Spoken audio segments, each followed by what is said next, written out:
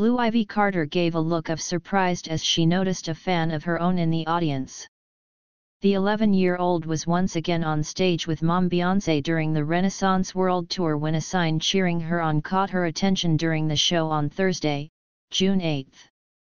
Just before breaking down into her epic dance routine for My Power, a fan close to the Estadi Olímpic Lluís Companys stage yelled, Hey, Blue prompting the preteen to look over. She then gave a look of surprise as she appeared to read a sign saying, Go AWF Blue. Number Ivy League. Blue then got right to her memorized routine as she danced alongside her mom, 41, not missing a beat as she wore a cool all-red outfit.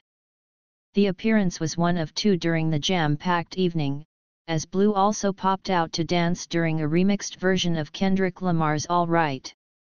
Beyoncé and Jay-Z's eldest child has made a few surprise appearances during the sold-out tour, which kicked off in Stockholm, Sweden last month, she made her initial debut in Paris rocking a futuristic silver outfit.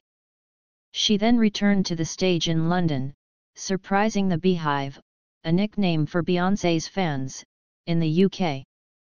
The song My Power appears on the 2019 soundtrack for Disney's live-action reboot of The Lion King, which was dubbed The Gift and also served as a full-length Beyoncé album.